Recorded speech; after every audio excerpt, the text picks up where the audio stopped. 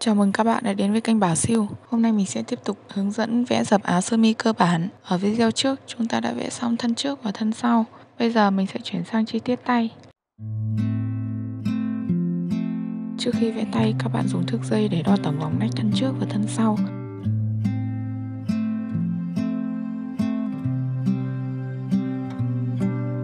Đo đến đâu thì giữ tay để xoay thước đi theo đường cong của nách.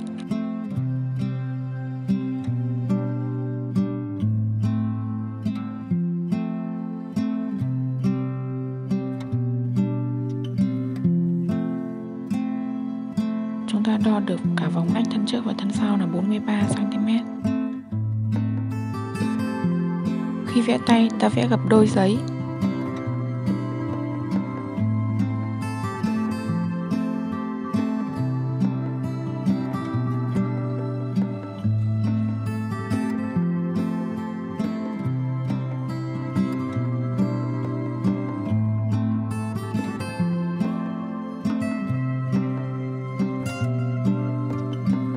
Thấy đường đầu vai vuông góc với mép gập đôi.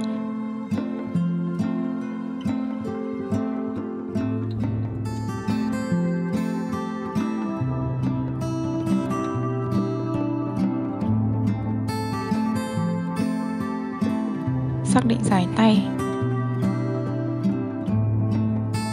Số đo dài tay bằng 56 nhưng tay có băng xét 5cm nên ta sẽ trừ đi 5 xăng chiều dài.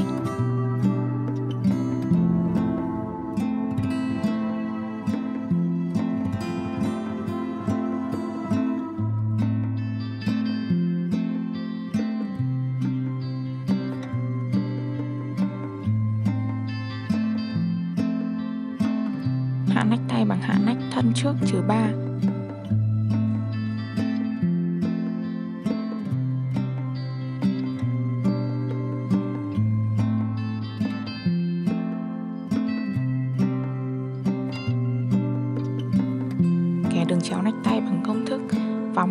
chia 2 trừ 1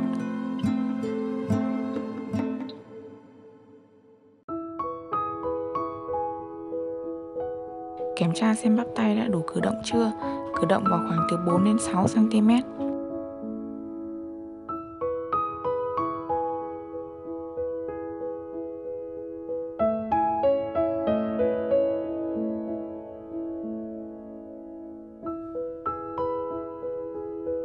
khi kiểm tra xong, chia 3 đường chéo nách tay.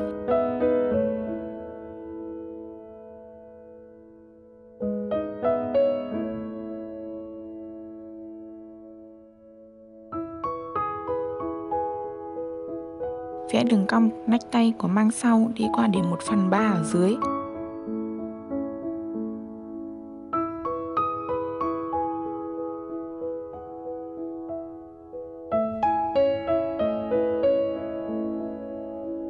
Trước thì đi qua điểm 1 phần 2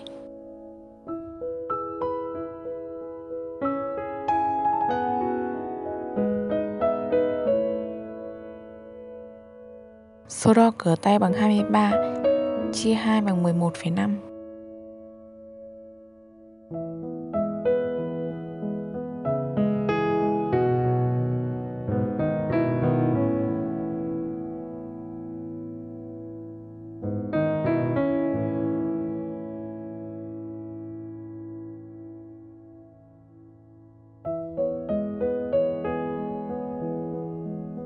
Tiếp tục đến phần chân cổ và lá cổ. Chúng ta phải đo tổng vòng cổ thân trước và sau Dùng thước dây để đo. Lưu ý với cổ trước phải đo ra đường nẹp ở ngoài. Đo được 1 phần 2 vòng cổ là 20cm Chúng ta vẽ một nửa vòng cổ Kẻ hai đoạn thẳng song song cách nhau 2,5cm Dài bằng 1 phần 2 vòng cổ vừa đo được Để làm chân cổ. Chia thành 3 đoạn đều nhau trên cả hai đường ở đầu chân cổ lấy lên 1,5 cm.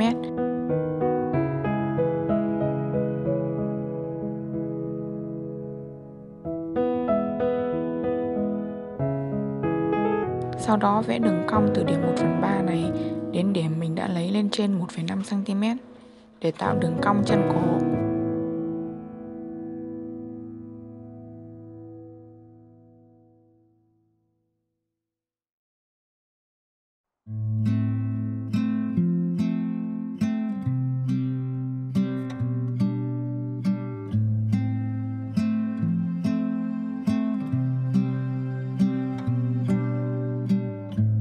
Chân cổ lấy lại đầu góc vuông, cho đầu chân cổ.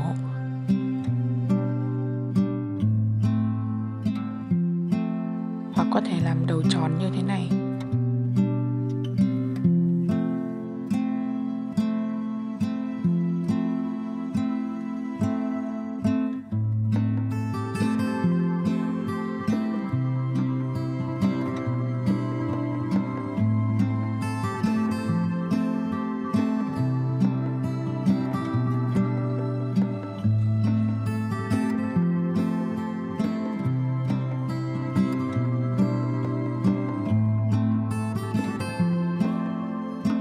Tiếp tục vẽ hai đoạn song song cách nhau 3,5 cm để làm lá cổ.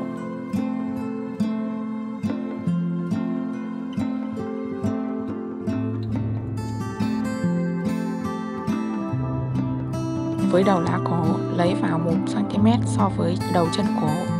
Khi vẽ chân cổ chúng ta lấy lên 1,5 cm thì với lá cổ lại lấy xuống 1,5 cm.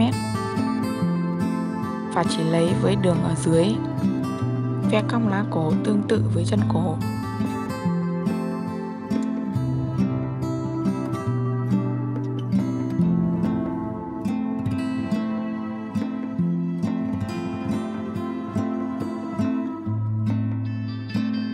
Ta sẽ tạo dáng lá cổ theo sở thích.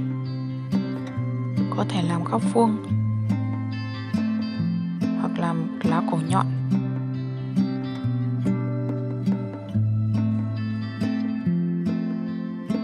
hoặc là cổ tròn.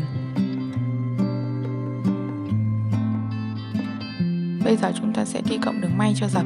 Phần hẹp chúng ta đã cộng 4cm trong đó có cả đường may.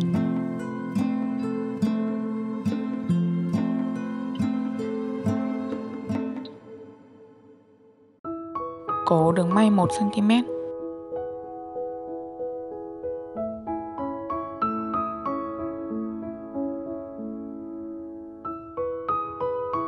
con 1 cm. Vòng nách 1 cm.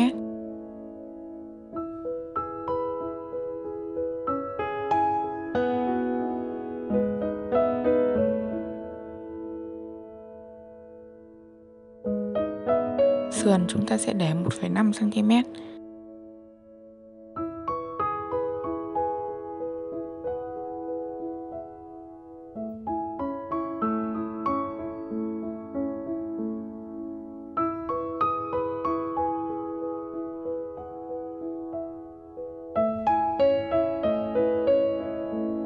và gấu áo là 1,5 cm.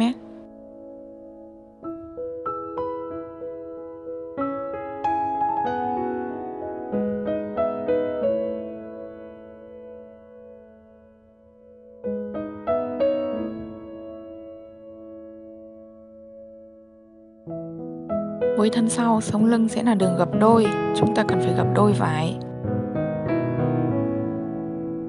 Các đường may khác thì tương tự thân trước, cổ 1cm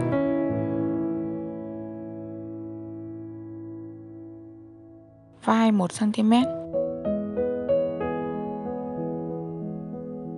Nách 1cm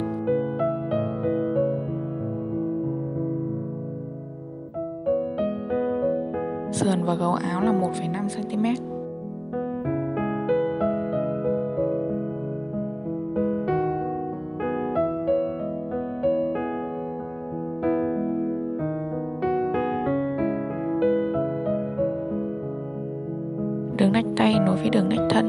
ta cộng đường may tương tự là 1cm.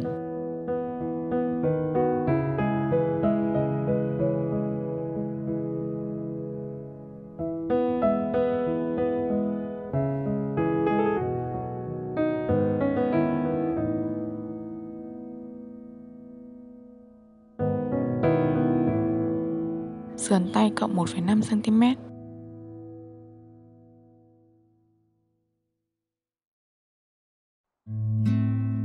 Tay 1cm Vẽ măng xét Rộng măng xét là 23cm Ta cộng thêm 2cm đường may. Dài măng xét là 5 Gập đôi là 10 Rồi cộng tiếp 2cm đường may, ta sẽ được 12 Như vậy chúng ta sẽ cắt măng xét với kích thước là 12 x 25cm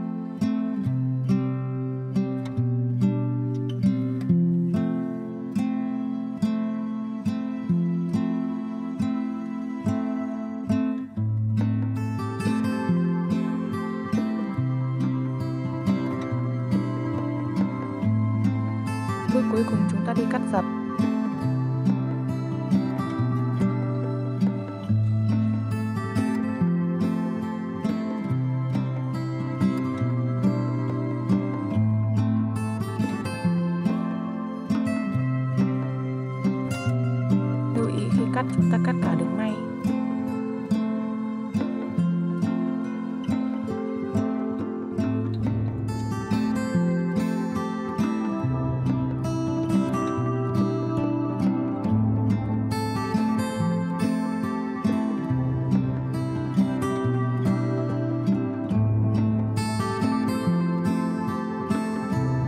Ở chi tiết này có hai mang khác nhau. Nên khi cắt, chúng ta sẽ cắt theo mang sau trước. Sau đó thì mở ra để cắt phần giảm nách tay cho mang trước.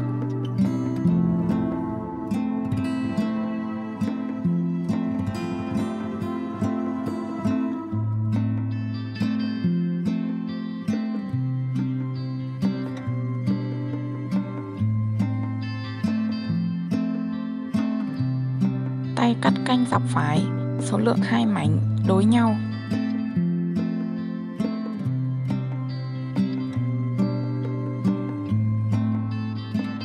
Trước canh dọc. Số lượng hai mảnh.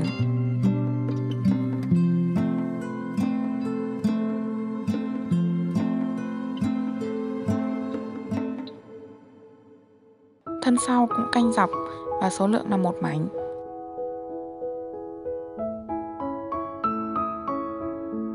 Với phần cổ, chúng ta cắt không cộng đường may trên dập.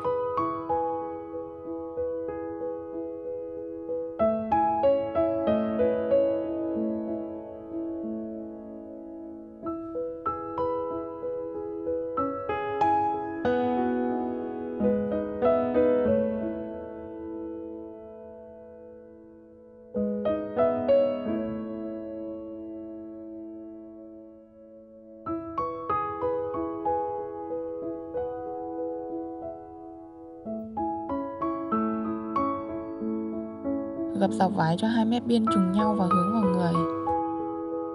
Đặt dập thân trước sát mép biên và thẳng biên, để cắt xong ta sẽ được hai lớp thân trước đối xứng nhau.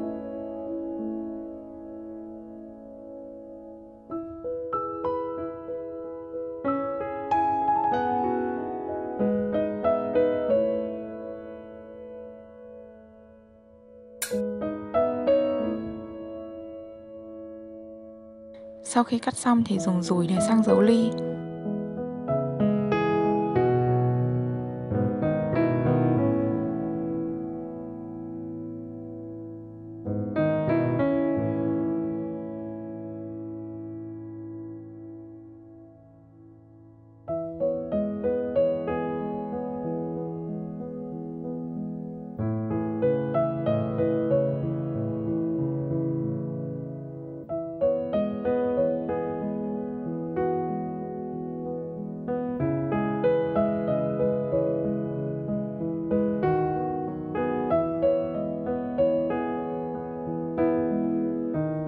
Chỗ phải còn lại khi cắt xong thân trước chúng ta gập lại làm sao cho vừa đủ thân sau. Đặt sống lưng của dập trùng với mép gập đôi, ta sẽ được một mảnh thân sau với sống lưng liền.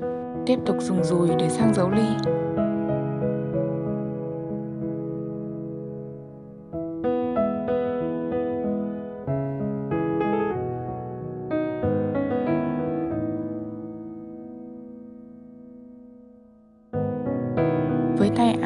Ta gặp phải tương tự thân trước để cắt được hai mảnh đối xứng nhau.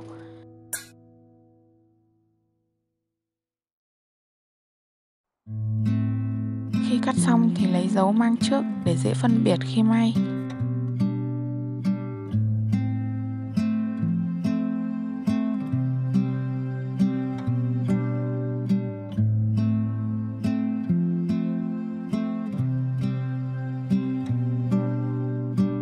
Cắt măng xét chúng ta sẽ gấp hai lần mách và hai lần vải chính.